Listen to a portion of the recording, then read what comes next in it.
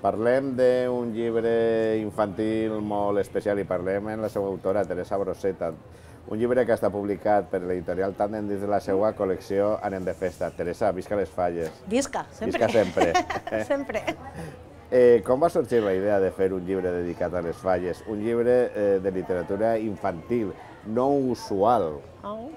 Bé, la, la idea de l'editorial ha sigut fer una, una col·lecció que posa en valor les nostres falles, les nostres festes, vull dir, perdó, i que les faça conèixer a aquells que no les coneixen i que les faça viure a aquells que sí que les coneixen i sobretot que donen un motiu per a parlar, no? per a parlar de les festes, per a conèixer-nos una miqueta més. Què conta Visca les falles?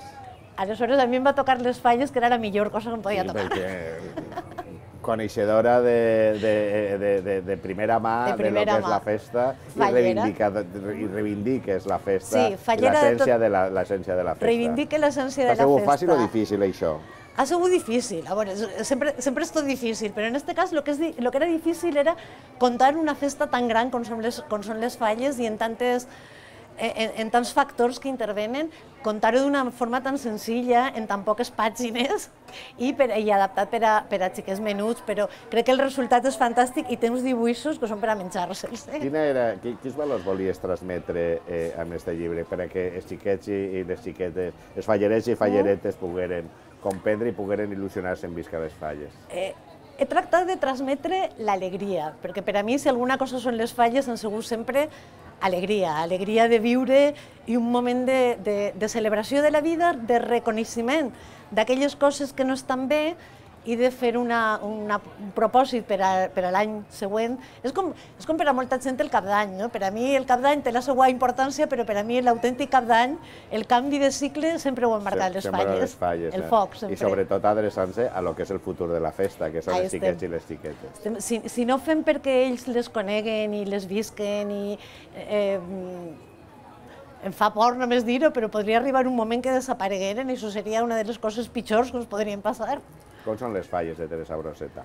Uf, sempre molt bones. He de reconèixer que segons passen els anys em costen més de passar i em passen més factura, però, però sempre ja t'he dit que és un moment de, de guanyar el carrer, de fer coses que no fem habitualment, de, de, retrobar, de, de retrobament entre els veïns i entre els amics. Hi ha molta gent que potser la veus només a l'any pràcticament la setmana de falles, però tens aquesta història en comú de tants anys viscuts, de tantes falles cremades, i això crea uns lligams molt importants. I tenen, perdona que, que continuï, tenen una cosa molt important, les falles, i és que funcionen com a vincle intergeneracional. Avui en dia que les famílies són tan reduïdes, que la gent no viu en els iaios, en, en, en, en la família extensa, si no és en una falla és molt difícil que un xiquet o una xiqueta pugui relacionar-se amb persones des dels 70 anys fins als més menús que ells. Aleshores és com una gran família tens molts tios, moltes ties, molts avis, moltes àvies, i, i, i això ja diuen que per educar un xiquet cal una tribu, eh, les falles són les nostres tribus. Ja, ja, les nostres tribus,